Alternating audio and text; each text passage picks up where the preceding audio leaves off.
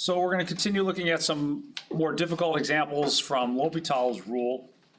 And These examples are still the indeterminate types that we saw in the first part of this video, or the first part of class. And the difference is, if it's not directly in the form of zero over zero or infinity over infinity, then you're gonna have to make it look like that. So when you have these other indeterminate forms, you have to struggle and turn it into something that looks like zero over zero or infinity over infinity before you can apply L'Hopital's rule. That doesn't mean it's impossible, it just means it's a little extra work. So we'll start out with this one. Now, let's just do kind of a thought experiment. If you try and put in the limit as x goes to infinity inside here, where's the inside of this gonna go? Well, the limit as x approaches infinity of one is just gonna be one. What happens to the limit as x approaches infinity of two divided by x? What's gonna happen to that limit? Where's it going? Well, two divided by a hundred, or two divided by a thousand, two divided by a million, a billion, a trillion, two divided by a googol. It's gonna get really, really small. Where is it gonna go? Where- It's going towards zero. So you'd have one plus zero, which is one. We have one to x, which is going to infinity. So it's kind of this weird balance, like, well, where does this, you know, trade off? Where does it equal out? Does it have a limit? This is one of those one to the infinity power kind of cases. And although we want to apply L'Hopital's rule, we can't do it just yet. So what are we going to do? We're going to play the same game we did last time. Kind of a hint at that is that you've got this exponent here, which is a function of x. So it's not just a constant, it's a function of x. So like we did with the last one, we're gonna take the natural log of both sides. So I'm gonna get the ln of y equals the ln of this limit. Now, I'm gonna interchange the ln and the limit in terms of their order. So I'll just jump straight ahead to limit as x approaches infinity of the ln of one plus two over x to the x power. And that looks good. What did we do last time when we did something like this? What was our next step? Yeah, bring the x down. Using the rules for logarithms, got a power rule, that x comes out in front, and I get x times the ln of 1 plus 2 over x. Is this in the form of L'Hopital's rule? Well, I guess another thought experiment. You've got limit as x approaches infinity of x, that's infinity. But what's gonna happen to this logarithmic term here? It's gonna be in the log of what? Well, one plus zero is gonna be one. Log of, log of one is zero. So it's not quite in the right form yet. Now we've got infinity times zero. And again, it's like, well, which question, which one of these wins out? Infinity is pretty big. Zero is pretty unforgiving. What wins? It's not in the form for L'Hopital's rule yet, which is why I chose this example, because there's a little trick that you're probably not gonna recognize for yourself. So maybe put a star in your notes here for this little trick. I'm gonna write this as the ln of one plus two over x divided by one over x. So instead of multiplying, I'm gonna divide by the reciprocal. And let's look at it from the perspective of this one. When you divide by a fraction, the rule is to invert and multiply, right? So you'd be multiplying by the reciprocal of one over x, which is just x. And so you'd get here. So these two things are equivalent, but in rewriting it, let's see what's happened. Now, as x approaches infinity, let's look at the denominator. As x approaches infinity, what happens to 1 over x? Where's that going to go? Zero. And in the numerator, as x approaches infinity, you get the log of one, which is zero. So finally, now we can apply L'Hopital's rule to this quotient. The thing that you gotta do for yourself is remember that you're gonna, you're not applying the quotient rule here. You're gonna find the derivative of the numerator divided by the derivative of the denominator. So, all right, there's a lot of work in that.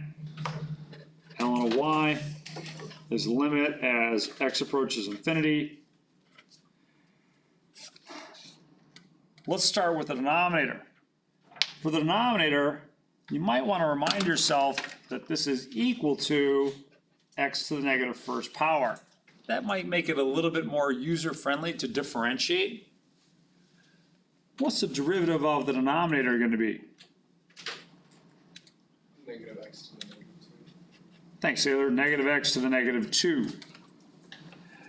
Now, in the numerator, when we differentiate that, and of course, we're applying L'Hopital's rule, we're not applying the quotient rule. We're dif- differentiating the numerator. Uh, again, it might be helpful to think of this as not 2 over x, but maybe 2 times x to the negative first. All right. So let's differentiate that. I'm gonna get one over one plus two x to the negative first times the derivative of the denominator. So differentiate this part of it. So let me put that in you know, parentheses here. What's the derivative of this going to be?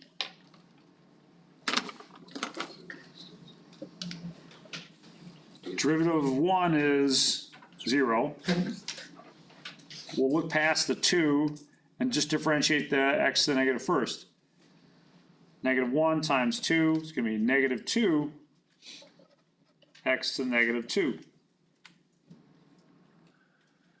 Okay. Well, that's kind of nice, isn't it? Maybe, yes, no? It is because these terms are eventually gonna cancel each other out.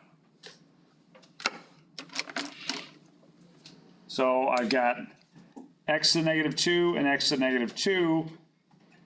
Both of these terms cancel each other out. The negatives are also gonna cancel each other out.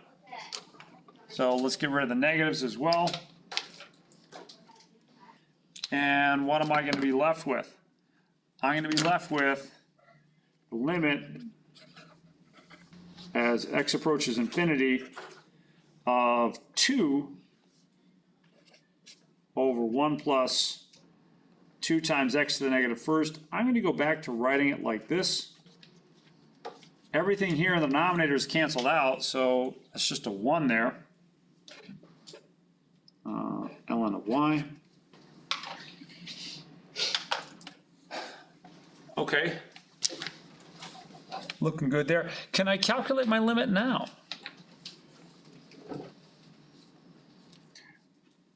Well, as x approaches infinity, what happens to the numerator? Where does it go? Two. Just two. And then the denominator, I'll have a one plus zero. So overall, the limit is two. I'm not quite done. Remember, I've got the ln of y is equal to two. How do you solve for y here?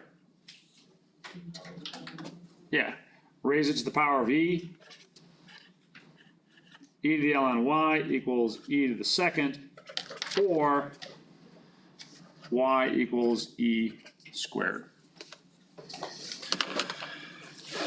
Yay. So this is an exact answer. This is the kind of thing that I would typically ask for on an exam. You know, when you look at it on a graphing calculator or say on Desmos, you know, you'll see something that's suggestive of that, but not necessarily actually be able to get the right answer out of that. If we look at this, let me zoom out a little bit. Yeah, we can see that it's slowing down, it's approaching some limit, but unless you know exactly what you're looking for, it's kind of hard to see exactly what limit that would be. In this case, it's y equals e squared. That's your limit. Okay. Uh, let's see. Mhm. Thoughts or comments on example H? Let's do two more, uh, maybe one more.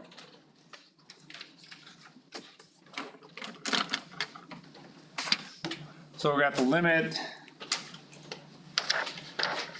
as x approaches infinity of x times sine of pi, sine of seven pi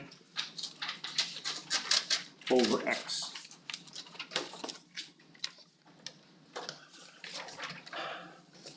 All right, well, this is another indeterminate form. If we look at this carefully, the first part is gonna be infinity. The second part, you're getting the sine of some number divided by a number that's getting increasingly large. So really, as x approaches infinity, seven pi over x is gonna approach zero. And the sine of zero is zero. So it is an indeterminate form, but it's not in the indeterminate form that allows you to use L'Hopital's rule. Okay.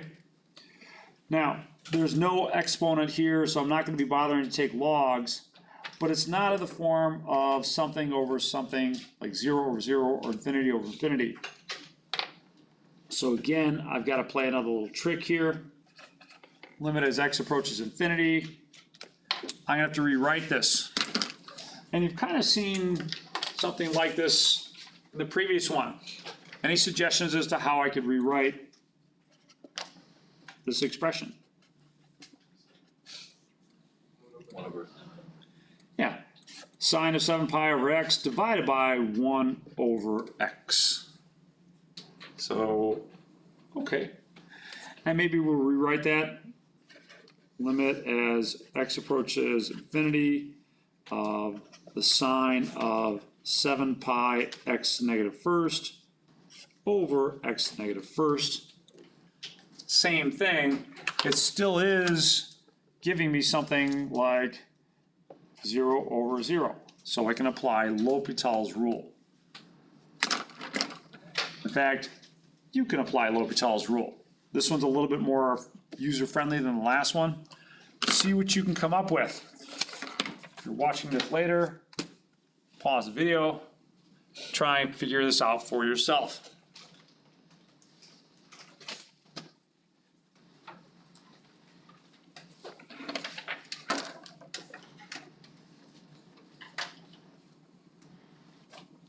Kata. Would you? I'll look over there.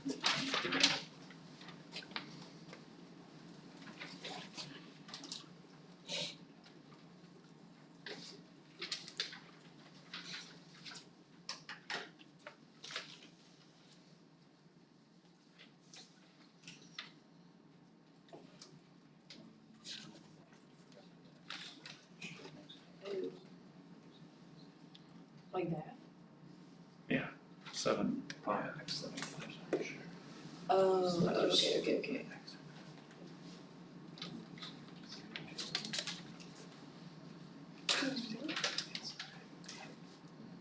Um, basically seven by, um, x the negative second, the x threshold.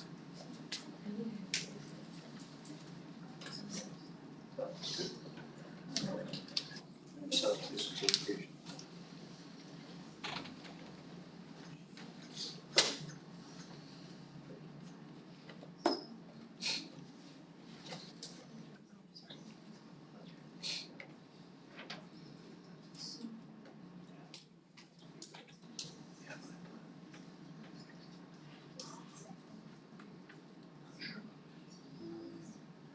I need differentiate that term. So differentiating the x, the seven pi is a constant, this is our function. The negative multiplies the seven pi. And then you subtract from the x, so it should be seven pi x to the negative second, or negative seven pi x to the negative second.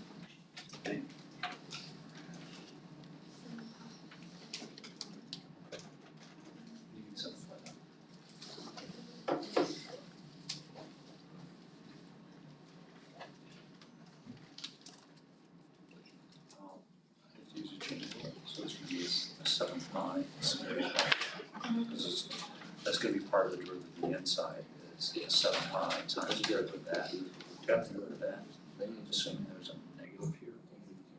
Um, But you need seven pi stuff. There we go. Good. Uh, now, seven pi. Um, I would just cancel the X, X, X, X, X, X, X. I got seven by cosine times seven, seven by cosine of seven pi. This is the original, like, I think it's just the same as seven I by already did change cosine one over seven, so when we, right?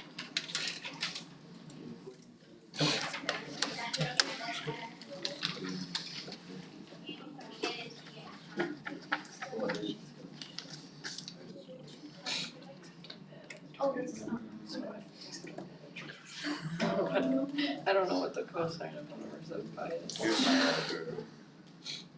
Okay. Um, But you have to my apply the calculator chain just rule, gives so me it's gonna be derivative of the outside. The Like inside stays the same, Okay. times the derivative of the inside.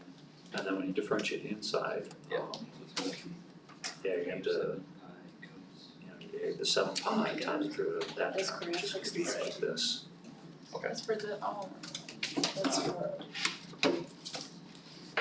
Which is. God, I have no idea. Looks like it evens out. I have no idea.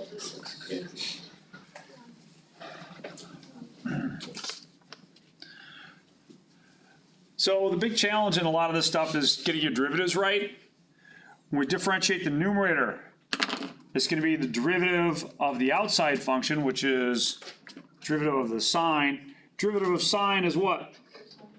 Cosine.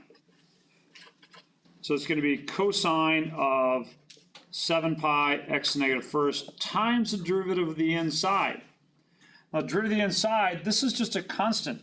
So it's gonna be a seven pi and then when I differentiate x to the negative first, what happens? So the, the negative is gonna come out here. And then x to what power? Negative second. Same thing down here, we're gonna end up with negative x to the negative second. And like I said, this is a little bit more user-friendly. That term disappears, the minus disappears, all that you're left with is the limit as x approaches infinity of the cosine of seven pi x to the negative first times seven pi. I put over one, but it's not gonna make a difference. What I will do is I will move this back down to the denominator to help me look at this limit. Limit as x approaches infinity of seven pi times a cosine of seven pi over x. So the constant, as far as the limit is concerned, can be factored out. That's not gonna affect the limit at all. Limit as x approaches infinity of the cosine of seven pi over x. As x approaches infinity, what's gonna happen to this quotient? it's gonna be zero, right? I mean, seven pi divided by something that's getting increasingly large is gonna be zero. And what's the cosine of zero? Cosine of zero is one. So, seven pi. Yay. All right, I think we're gonna stop it here. I think we've got a lot of good practice. Certainly, there was one more that I wouldn't mind, wouldn't have minded to do, but uh, we'll call it a day with L'Hopital's rule on that one. Comments or thoughts on this last example here? All right,